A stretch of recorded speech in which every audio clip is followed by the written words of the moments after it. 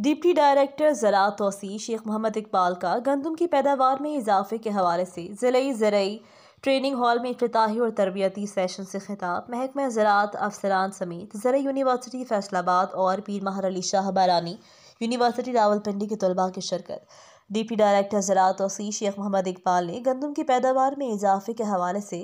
ज़िले ज़रूरी training hall में फ़ीता, में फ़िताही तरबियती सेशन से खिताब करते हुए कहा कि महकमा ज़रात वसी ज़रिए एमरजेंसी प्रोग्राम के तहत किसानों को मुहैया करदार सब्सिडी पर ज़रूरी औज़ार और नमाशी प्लाट लगा के दे रहा है ताहम भरपूर पैदावार हासिल करने के लिए। सेहतमंद तस्दीक शुदा बीज और जहर आलूद बीज मुकर वक्त पर काश्त की बेहतर पैदावार की जमानत है। उन्होंने बताया कि गंदम की पैदावार में इजाफे की खसूसी मुहिम उनतीस अक्टूबर तक छः नवंबर 2022 तक जारी रहेगी, जिसके लिए महकमा ज़रात सी ज़रा यूनिवर्सिटी फैसलाबाद और पीर महर अली शाह बरानी यूनिवर्सिटी रावलपिंडी के एक सौ तलबा और तालिबात का मिशन गाँव गाँव जाकर किसानों को ज़्यादा रकबे पर गंदम की काश्त और गंदम की फीक और पैदावार को बढ़ाने के लिए